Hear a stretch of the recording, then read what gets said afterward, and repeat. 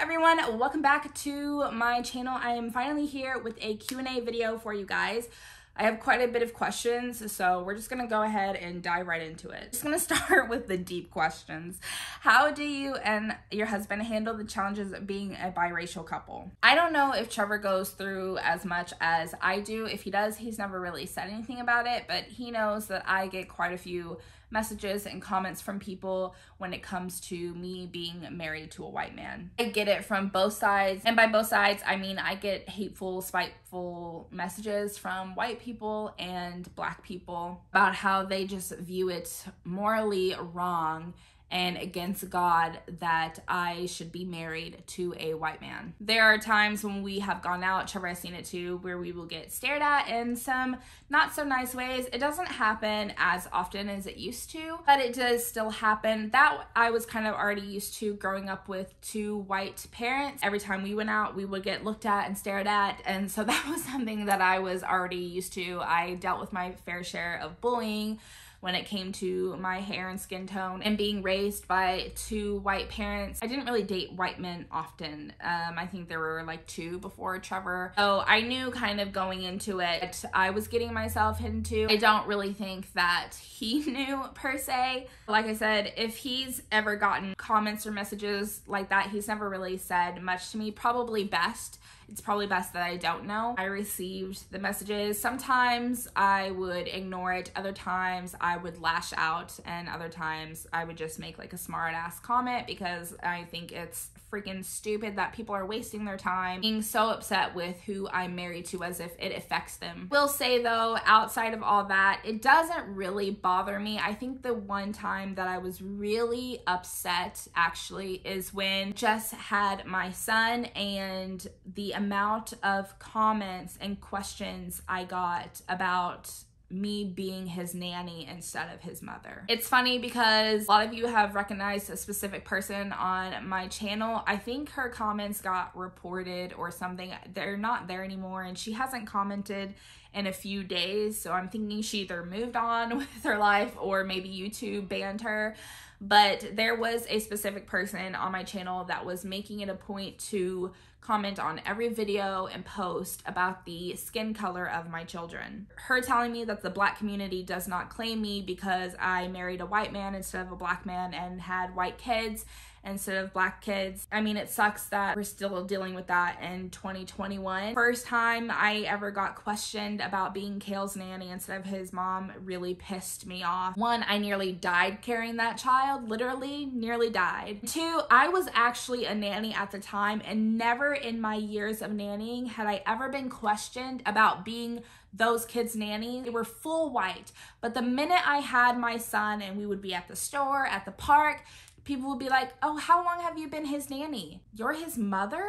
Oh, you can't possibly be his mother. Just didn't put the two together because of your skin tone. People really feel like my kids should look a certain way because of how I look, and they can't really understand genetics or science at all in general the first comment I got is, I think, what really sent me over the edge. I remember lashing out. I remember crying. I was so incredibly offended because that was my baby. And there were people really out here that I'm, I'm getting emotional. There were people really out here thinking that I could not possibly have a child that looks like that. To answer this question, because maybe I've kind of veered off a bit, we just deal with it. We either ignore it, we laugh at it, or I get violent lady commenting on my channel about my kids. I really didn't say anything to her until after a while because there were a few people that were coming in and defending my children and I felt like I needed to say something. I didn't want other people speaking up for my kids. I really appreciated it, but I felt like I needed to officially say something and then she started making fun of my kids' names and things like that. Most of the time, when it comes from the internet, I try not to let it get to me because most of the time, like 95% of the time, those people would not have the balls to say it to my face. Yes, there have been people asking me if I was my kid's nanny instead of their mom, but as far as like full blown hate, that comes very few and far in between in person, face to face. It's mostly just internet hate so I try not to let it get the best of me, knowing that they probably would not say it to my face because they would get smacked up. moving on from that, how long have you and Trevor been together and how did you meet? So we met our freshman year in college, I think like a month or two into freshman year, we wasted no time. And we have been together since then, so almost 11 years. There were a few years in that 11 years where we were on and off. Eh, they were our ugly years. Needed some work before we could come back together and really be together as a family. We had Kale at the time, get married, and bloom into what we are now. I was headed with some friends to go out to eat one late night and we were driving past some dorms. He was outside on the phone. I, for some reason, made a flirtatious comment towards him. I don't know what came over me. I'm just gonna be honest, he was not my type, like at all. Not normally what I went for. I really don't understand what came over me to want to flirt with him, but he texted one of the friends I was in the car with that night after we drove off saying something flirtatious back to be said to me. And we just kind of like hit it off from there. I knew after our first night together that he was going to be the man I married. We went to a party and then we didn't want the night to end basically. And so he went to his dorm room, got us a bunch of blankets, brought me some pajamas. We went through a parking lot in the college campus and we found this random truck. Don't know who it belonged to we got in the bed of the truck, laid down the blankets, and we literally spent the entire night talking, looking up at the stars, and just like saying whatever came to mind. Didn't kiss. And I was so surprised because I for sure thought he was going to kiss me because we're under the stars. Like that was the perfect time but we didn't do anything. And we got up, it was sunny outside, and I was like, we should probably get out of this person's truck before they come and try to drive it, see random people in here and call the cops on us. But after that, I went back to my dorm that morning and I was like, that's my husband. That's the man I'm going to marry. And now here we are almost 11 years later. How old was I when I had my children? So I got pregnant with Kale at 19 and had him when I was 20. And then I had Nayvie nine months ago. Yes, our kids are very far apart. We did try to have kids uh, closer. We got married when Kale was three, I believe. And I wanted my kids to be closer in age. I wanted a lot of kids, but that just wasn't in the cards for us. I had two very difficult pregnancies. Like I said earlier, I nearly died with Kale. Nayvie and I's life was at risk when I was pregnant with her as well. Pregnancies were not easy, they were not pretty, and I struggled. And so, for the people asking me, do we plan on having more kids? I don't think we do. Because of my age and how I experienced both of those pregnancies, I don't think it's smart for us to try for a third. Now, if something happens, God willing, then, you know, we'll run with it. But as far as like trying for a third child, I don't think it's smart. How old are you? I am 29. I'll be 30 in February. Trevor just turned 29 July 30th, so I'm a little bit older than him by a few months. I can't believe I'm almost 30. How do I cope with missing my husband while he's away? So, if you don't know, if you're for some reason new here, my husband is in the Navy. Right now is in Pensacola, Florida. He will be moved to Virginia soon for like the next 8 months and then we are all moving to Japan I believe March of 2022. I think I have so much going on here that it's hard for me to just focus on missing my husband. I think it hits me the most at night when it's quiet and all the kids are asleep and I'm by myself and I look over on the side of the bed and he's not there. And I try to imagine him being there and like wrapping me up in his arms. I have his clothes on, like I'm spraying his cologne. Like I'm just trying to find some closeness with him. I think like during the day, as much as I miss him, I just have so much going on that I can't really like be sad. A few months of this year when we had no contact with each other, that was harder. Now we at least can like FaceTime, we text throughout the day. Like so right now it's it's fine. He's just not here physically, but I see him and talk to him constantly. Beginning we had no sort of communication, and I think the part that hit me the most was when like a week after Trevor left, Kale was diagnosed with type 1 diabetes and I was in the hospital. I had just had Nayvie and I hadn't been without her that long until that moment. She couldn't be in the hospital with me, so she was at home here with my parents and I was in the hospital with Kale. Like my anxiety was through the roof being without the baby, seeing Kale going through so many needles and so many doctors and just like all of it hitting me at once and I could not talk to my husband. Why am I I'm getting so emotional this Q&A already. I couldn't just talk to him.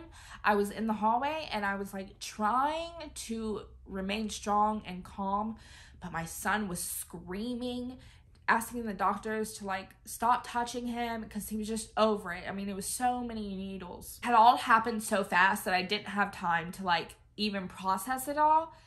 But I just had so many like emotions, and that was the time that I missed him the most. And I did not handle it well. If I'm being quite honest, when I got home, I like threw stuff. I screamed, I cried. Outside of that moment, and some other particular instances where I'm just at my breaking point and I need to just punch a pillow or scream into a pillow or whatever, I think I just remain busy as much as I possibly can. So I can't think about the fact that I'm doing this all by myself. Sometimes Kale can pick up when I'm not doing well faster than I can. He will say to me, Do you need to go to your closet and cry? And a lot of times I'll be like, yes. Yes, I do. He knows that I have a space in my closet where I go to collect myself, gain a like healthier mindset than where I'm at right now. I go there, I cry, I say whatever I need to say, like whatever it is, I literally just talk inside my closet. And I've done that for years. Like our other homes, we had two closets, and so one of those closets would like be dedicated to a place where I could go and pray say what I need to say, cry, whatever I needed to do, that closet was like my safe space. And I feel like it's important to create a safe space for yourself within your home, apartment, whatever, just where you can let go and let it be whatever it needs to be. Deal with it in that space and then come back out, you know, deal with the world. My tattoo. How is my relationship with God today? So, a lot of you lately actually more than usual have noticed my tattoo on my wrist. As far as my relationship with God today, I won't say that it's perfect. I will say it's not as good as it used to be. I'm not really a religious person. I don't even think I could claim myself really as a Christian just because of how I handle things and how I see things is far off from other Christians. There's a lot of things that I don't agree with. Not all, but there's a vast majority of religious people that treat people in a way that I don't see fit and they use God's word to justify that and I just can't do that. So, as far as like my relationship with God, it's personal and true, it's raw of talking to God. I do it all the time. Especially when I was working and I had to drive an hour to work and back, I would sometimes just sit in the car that entire way and I would just talk, talk, talk, talk, talk. And that was me talking to God. When I go to my space in my closet, I talk to him. I tell him what's going on. Sometimes I'm really mad at him and I'll say, you know, whatever I want to say, but to me there's like an understanding and there's a relationship and it's like I said it's raw, it's true and I love God. I believe in him. That's kind of my stance on that. And I do believe personally for me that God has got me through some of the toughest times because I know where I was in my life when I didn't believe in Him. If you don't believe in God, I respect you fully and I don't love you any less. Is it hard to do self care as a mom? How do you manage your time so you can take care of yourself? It is absolutely hard as hell to do self care as a mom, okay? And don't let anybody tell you different. If you're a stay at home mom, it is just as hard as if you're a working mom, okay? We are busy no matter what. And we, as moms, for some reason, cannot win in society because it's never freaking enough. But let me tell you something I learned. I refuse, refuse. Nayvie's playing with her brother. I refuse to put myself last anymore. I did that four years and I can't do that anymore. Your family is not 100% good if you are not 100% good. You have to take care of yourself. You have to make yourself a priority. You have to care about yourself. You have to love yourself. You need to step away and take time for yourself. Your kids will be okay. Your significant other will be okay. Please please do not put yourself last anymore. If you're watching this and you're thinking to myself, I never do anything for myself, I always put my kids and my partner first. I'm not saying stop taking care of your family because I think that you should, but I also think that you need to put yourself first because when you're good, they're good. When you're not good, they're not good because you are the heart of the home, you are the nurturer of the home, you are the caretaker of the home. You need to be good. So find it in yourself. It took me a minute also. Every time that the kids would nap, I would feel like this I got to get this and this and this and this and this and this and this done while they're napping. And it took me a while to be like, okay, you know, it's okay if something doesn't get cleaned right away. It's okay if I don't run this errand right away. It's okay if I don't check all the boxes off my to do list. The kids are napping. Let me just lay on the bed and enjoy the silence. Are you happy and satisfied with where you are in life? Yes and no. I am happy about my life. I'm happy about the life that I created with my husband and our two kids. I have pretty much everything that I've asked for in life. And I'm not saying that to brag, I'm just saying I feel like I prayed for it hard and I worked hard for it. And for that, I'm happy.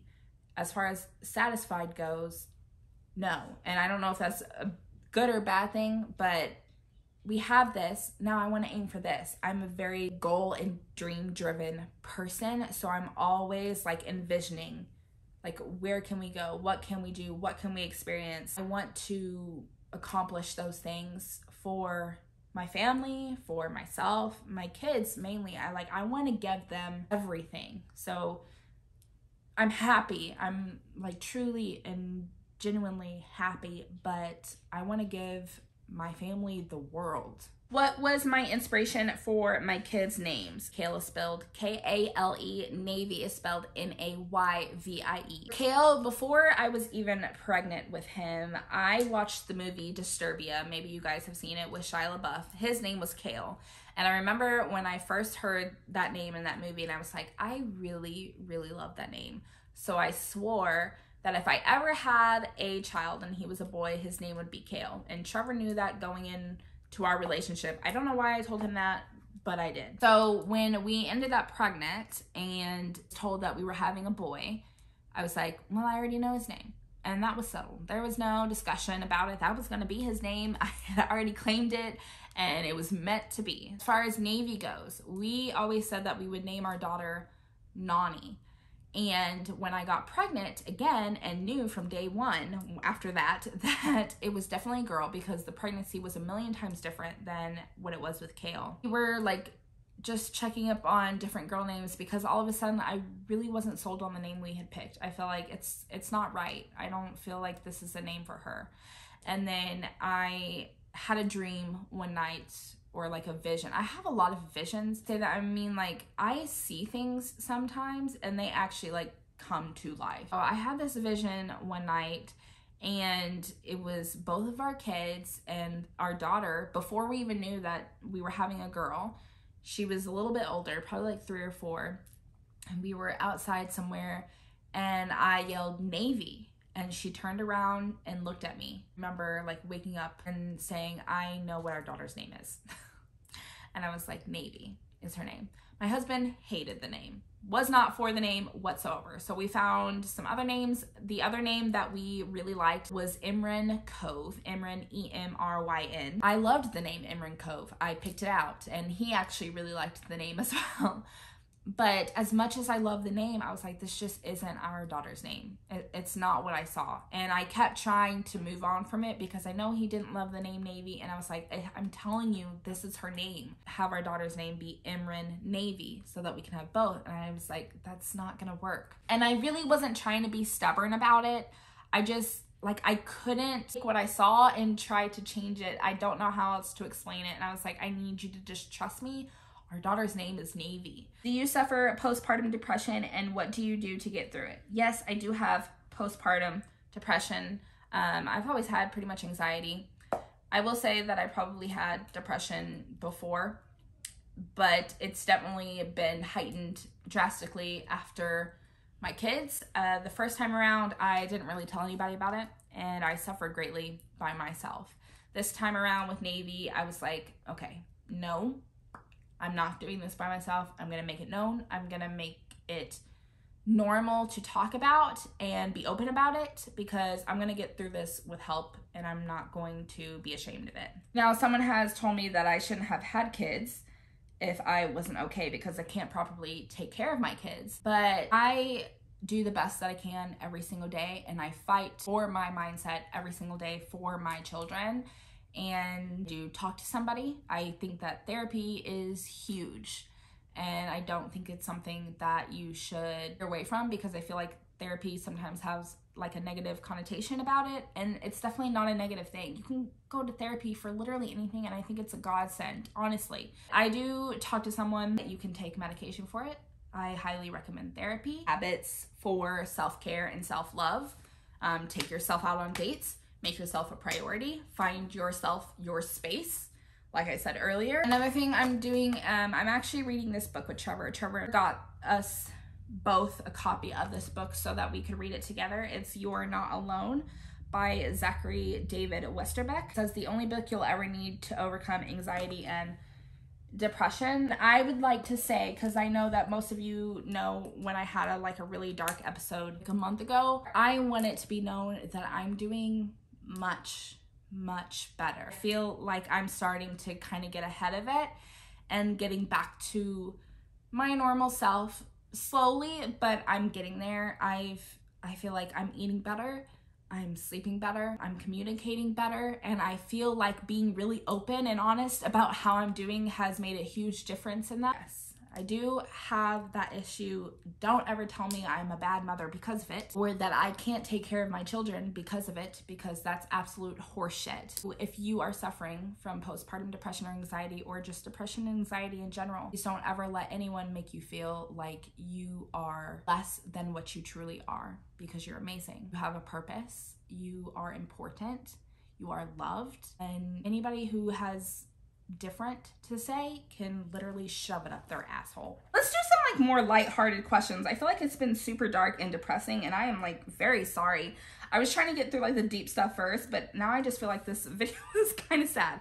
Okay, how tall are you? I am five five on a good day, but mostly five four. My favorite foods, spaghetti. Hands down, and Chinese are something that I could eat every single day and have no regrets. My favorite color, is teal. Favorite hobby, reading and taking myself out on dates, which I, I, don't know if that's really a hobby, taking myself out, but if it could be considered one, I'd like that to be my favorite hobby. But I really, really enjoy reading. Favorite body spray, hands down the Forever Red from Bath and Body Works because it's a deep, luxurious, rich scent.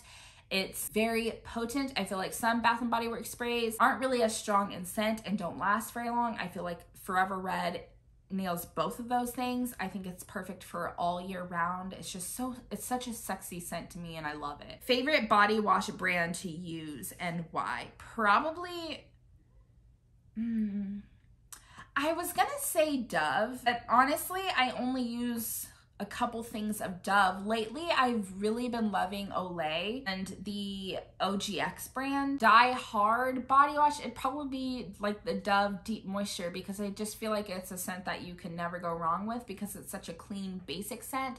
It is moisturizing. Um, I love the way it lathers up, but as far as like scents go, y'all know my favorite one is that Degree Cherry, but that's the only scent from the Degree body wash that I love. I have a lot of body washes from OGX that I absolutely adore as far as smell and feeling goes, and same with Olay. So I feel like probably Olay would be my top body wash brand. For hygiene scent, it really depends on the season because I shop based off season. For summer, I really like fruity, tropical cocktail smells. For fall and winter, I really love deep, rich, warm, comforting type of scents. And for spring, I love floral, a little fruity, but mainly floral scents. So I love them all and I base them off of whatever season we're in. If you could create your own scent to sell, what would it be? Do I want to say this out loud? What if somebody steals my idea? I would love to create my own hygiene like brand one day. I think that would be really, really cool. But every fall and winter, I make it a deal with myself that I will make a new dessert every single week. Is my favorite time to bake and like practice. So I always look up new recipes of desserts that I can make for that week. And I feel like if I could make a dessert one week, we loved it. If I could create like a body wash and a scrub and a like lotion and mist off of that dessert that I made, that would be really cool. And I could name it like kind of after the desserts with like a cute little spin on it. I think that would just be so amazing. What inspired you to start a YouTube? So I had a channel before this one and it was based off mostly lifestyle and my fitness journey. A lot of people that followed me on social media back then followed me because of my like body transformation. I went from being super super thin to getting pregnant and kind of letting myself go and being overweight to losing all of that weight and then realizing I didn't like being thin. It's not something that I enjoyed. Oh, I worked very hard for years to get strong and curvy and like that slim, thick look, and people really were inspired by that. What kind of inspired me was those people's comments and support. As I kind of like went through my channel, my vision kind of changed. I was still into fitness, but then I got pregnant and I couldn't work out and I haven't really been into fitness as much. Um, I do hope to get back into that drive someday. I don't think my channel will ever be that again, or not as a main focus, but just kind of like as a branch of my channel. The worst body products you have tried thus far. So Caress or Caris, whatever, I hate. I believe I'm allergic to the product, so on that self, I hate it because I can't use it. It makes me like super, super itchy. But I also don't feel like they're the best smelling when it comes to body washes. I think the price is nice. But as far as like everlasting scent, I don't feel like Caris does the job well. I don't know how to say the freaking brand, so I apologize. The other brand I hate is Raw Sugar. Can't stand that brand. There's literally no smell to the product whatsoever. It made my skin super sticky, not moisturized. I hate everything about that brand as far as hygiene products go.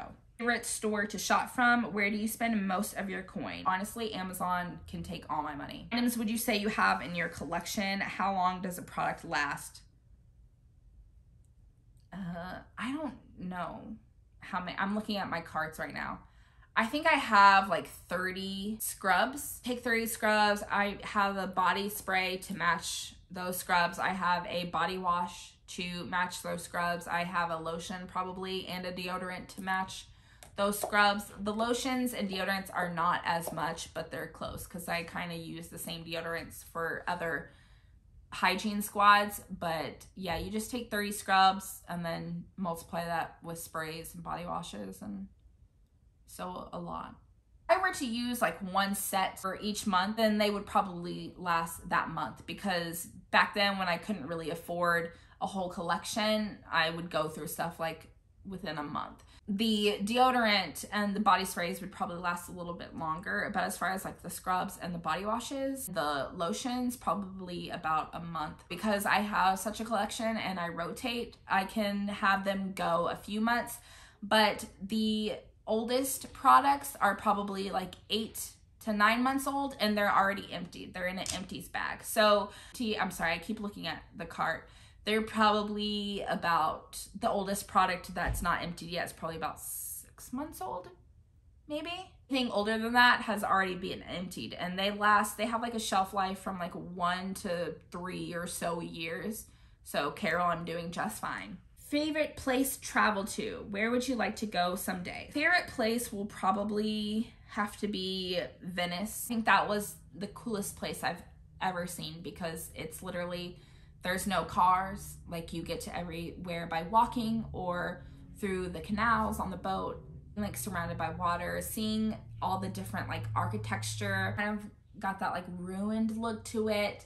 It was so beautiful and I loved like just seeing all the different colors, markets. Food was absolutely spectacular. Where I would like to go someday, pick like right now, like if money didn't matter and we could all go someplace right now, I'd probably pick Bali. Tell us your soccer experience and do you miss playing? So this question actually had the word Olympics in it and I wasn't in the Olympics and I was referring to that story back in another video. I did play for a USA girls team, but it was U18. It wasn't for like the USA Olympics. It was asked if I wanted to play in Europe. So I joined the USA U18 girls soccer team and flew to Europe. There were two guy teams also that traveled with to Europe. I was chosen to be the captain of the girls team. I won a lot of rewards as a team, we won first place in the Denmark Cup and second place in the Gothia Cup in Sweden. Had the most goals out of all three teams, like including the boys teams. I scored the most goals. We played in Denmark, Sweden, and Czech Republic. It was the greatest experience of my life. To play the sport that I absolutely loved in Europe, representing like my country in a sense, like it was great. We had like a whole ceremony and stuff like they do in the Olympics. It wasn't as grand or as big, but there was a huge arena where we had the ceremony and to like talk to other teams from different countries and like learning about them and like trading stuff with people. Fullest thing. We went to like clubs and dance. We sight saw a little bit, not too much. Um, just because most of our time was spent playing soccer. But when we got to, it was just so cool. And if I could go back and do it again, I would in a heartbeat. I absolutely miss playing. I wish I still had the energy. If you are interested in my reading habits now, probably my favorite genre is fantasy. I really love anything. I'm not big on like historical fiction. I don't really read nonfiction, hardly ever. It's pretty rare. The fall time during holiday, I will binge read so many thriller, suspense, horror, murder, mystery, love that stuff. I'm really into smut books. I talked about that. Spicy, like sex books are always good. Just never a dull moment reading those. I want to get a Kindle um, just because I want more smut books, but I don't necessarily want them on my shelf because a lot of the covers are pretty intense and spicy and I don't want those on my shelf. Obviously, I have kids. If I didn't have kids, I probably wouldn't care. But because I do, I do want a Kindle so I can buy those books and read them without having an explicit cover on my shelf. Are you reading now and do you have a mini library at home? Okay, so I obviously just told you I was reading this book with my husband. You're Not Alone. On my own, I am reading Crazy House by James Patterson. Also by myself, Eating a Court of Wings and Ruin by Sarah J. Maas. This is the third book of the series. With a group of women, I am reading Neon Gods by Katee Robert. This is spicy, okay, honey? It is, woo! We love, we love this one. We, we love this one. Yes, we do. So I'm reading a lot right now. I normally don't read this much at one time, but because I'm reading some books with other people, I can't read them as much and as fast as I would if I was reading them on my own. Neon Gods, we can only read a chapter a day, and it's killing me. Book, I'm only reading a chapter or two a day with Trevor. These I can read at my own pace, but this one's pretty big, so it's gonna take me a minute to probably get through just with everything else. This is just kind of a different storyline than what I've been reading, so I wanted to get into it just to kind of see, take a break from everything else, because I know this series has some spice in it. This one's pretty spicy. This one's for mental health. This is just gonna be a break from all of that because it's probably, from what I feel like, is more suspense, who done it type of book. Favorite movie? Have you watched the Marvel movies? Yes, I love the Marvel movies. I've seen them all probably at least three times, if not more. I liked the comic books growing up, so I love the movies. My favorite movie, I don't have a favorite movie. I would never be able to pinpoint. If I had to pick a favorite genre movie, it would be horror, thriller type of movies. If you had an unlimited amount of money, what would be the first three things you buy? A limited amount? I'd probably buy land, probably would start my own business, and I would probably invest in either real estate or stocks or something like that. That way, you know, when I die, my kids can have, you know, whatever and their kids could have and then their kids and just moving on. We just want to create a good legacy to flow through. So I would probably buy things that would just benefit my family in the long run. What is your dream car? A like beautified Jeep Grand Cherokee or G-Wagon is what I would love. Advice to give my 5-year-old self. Wow. There's so much that I would tell myself. But in like a funny but not funny kind of way, I would tell my five year old self from here on out, save any money that you get. Just save it. I was not prepared to be an adult. I was not prepared. No, I was not prepared at all. Fun fact about me. I don't know if this is a fun fact. I don't know if it's hilarious, but like looking back on it, it's pretty hilarious now. Trevor Kale and I, when he was younger, went to Hawaii specifically um, for a job opportunity for Trevor. So we went there to have his interviews and for us to look at places to live, possibly if we were going to move there. He did end up getting the job offer, but it was it was not going to work the way that we were hoping they were going to offer it. So we didn't end up moving there. But that's beside the point. We went there for that reason alone, but we also wanted to have like a family vacation. So one day we all went to the beach. And y'all, I'm not a very good swimmer. I'm not, and I'm not ashamed of that. I can swim kind of, but like as far as a good swimmer, probably not. And the current, the waves were a little bit stronger that day, and we knew that. There was a warning about it. Anyway, I'm out there. I am just like in a zone of some sort. I couldn't even tell you. I'm singing a song in my head. I'm pretending I'm a mermaid. Like I am lost in my own underwater world. And I'm just going underneath and in and out of the waves. And I'm just having my best life possible. I am a water person, even though I can't really swim. I love being in the water. And I was just so lost out there to a point where I wanted to slow down and I kind of put my feet down and realized I could not touch the bottom. And I was like, oh shit. and so I, I'm like trying to wade myself a little bit, trying to find the bottom because it, surely it's not off far. And I was like, okay, I actually can't touch the bottom. And I'm drifting further out. And I was like, what do I do? I'm literally freaking out at this point because I'm like, a shark's gonna come and eat me. I'm going to drown. Something bad is going to happen, and I am not prepared for death. I'm like trying to discreetly wave Trevor down. I'm acting like everything's okay, but at the same time, I'm like, come, come, come help. I am like, I'm freaking out, but I'm like, I don't want other people to know that I'm about to die. And so I, he finally understands like what I'm doing, but it's like two seconds after the lifeguard sees that I'm not okay. And so they both start coming out, and I'm like, oh shit. I'm like, please hurry.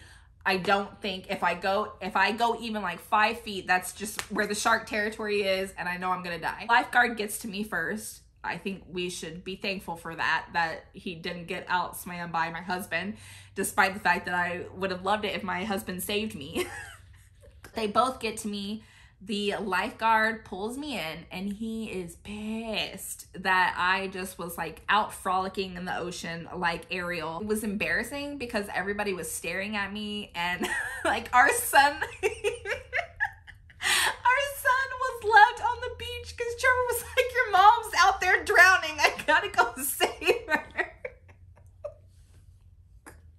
I can't believe I experienced that. I was like, wow, I really almost drowned in Hawaii. Like I was almost taken out to sea in Hawaii. That is my goal for this channel. My only goal is to inspire others. That's always been my goal. I just want to be somebody that people can relate to and resonate with. I want some I want to be somebody that people feel comfortable with. You know, like I said, inspires others to be the best version of themselves and to love themselves. That's all I've ever wanted, and everything else is just kind of a bonus. Songs to listen to. I really love all sorts of music. I don't really listen to country like at all. There's probably like five songs that I maybe like.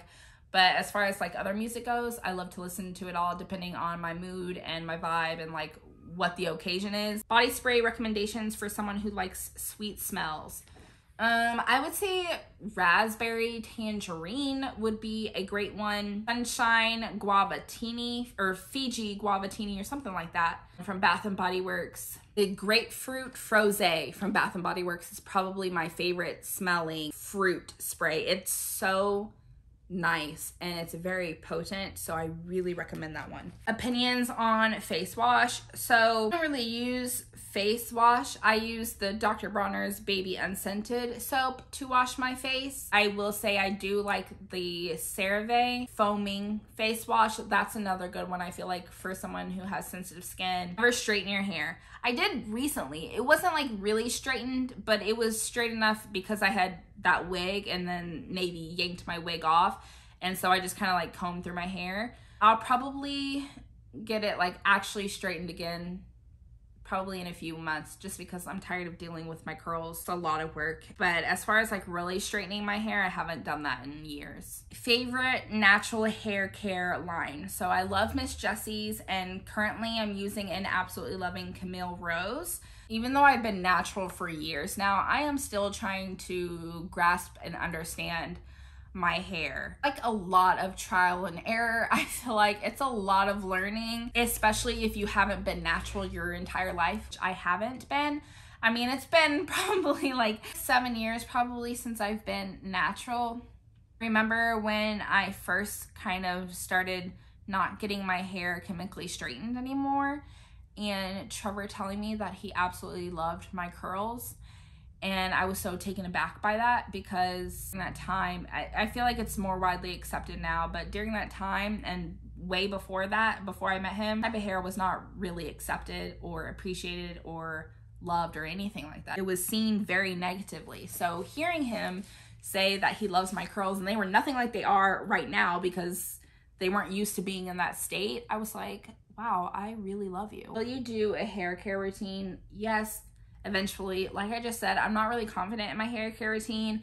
And I know someone's gonna have something negative to say. And like, I don't need any negative comments about my hair care routine because I'm still trying to learn.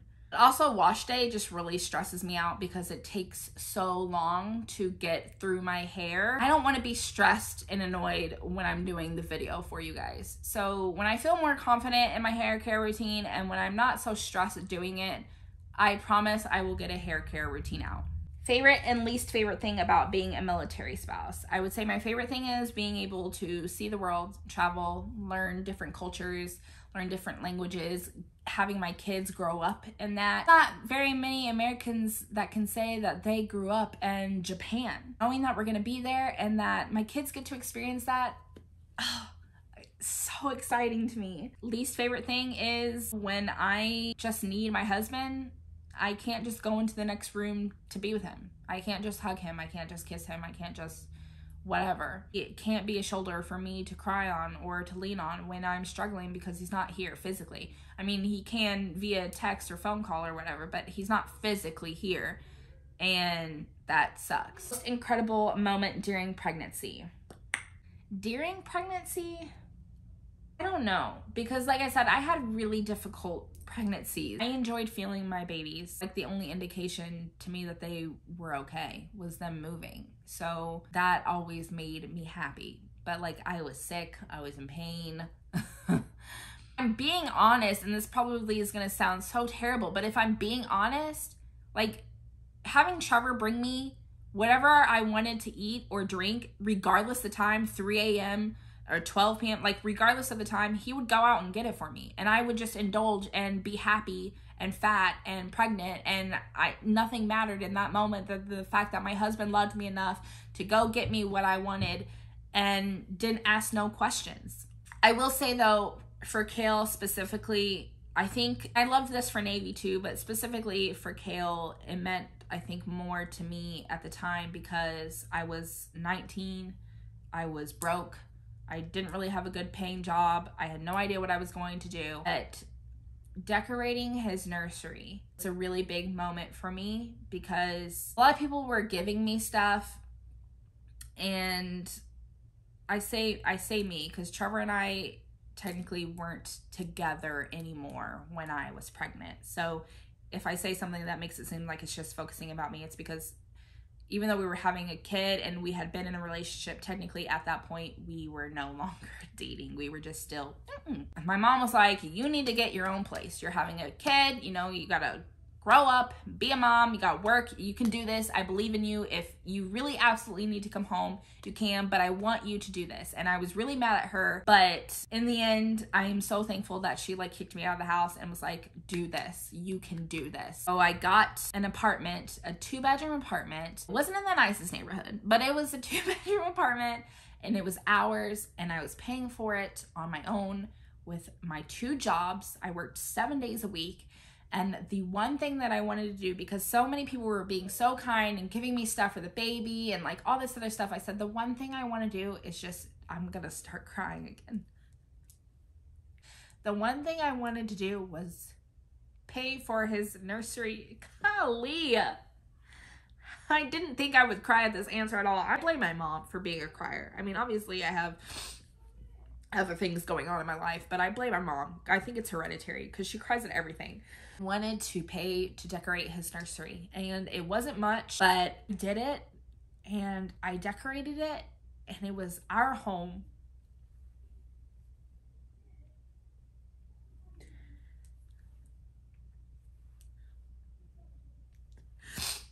Huh. I've said this a lot in the past, like if you follow me on social medias or stuff, but Kale literally saved my life. I was in probably the darkest place in my life. And when I found out I was pregnant with him,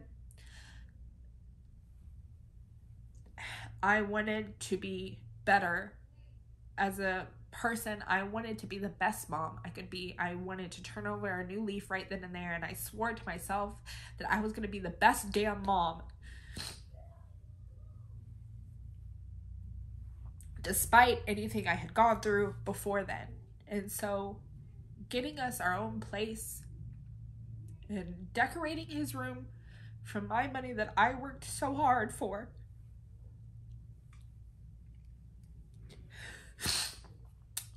golly, was probably my happiest moment in that pregnancy. And I'm very grateful that Trevor and I, you know, we found our way back to each other and we were in a better place um, as a couple financially to be able to provide probably at a better standing for Nayvie because we were 19 when I got pregnant, you know? So knowing that this was ours and that I did that was probably my favorite part. That is it for this Q&A video, you guys. I'm sorry I cried. I cannot believe I cried. I really tried so hard. That is it for this Q&A. I've been in here for a while. The kids are starting to get antsy, so I'm going to go. I hope you all have a great weekend ahead of you, and I'll see you in my next video. Bye, guys!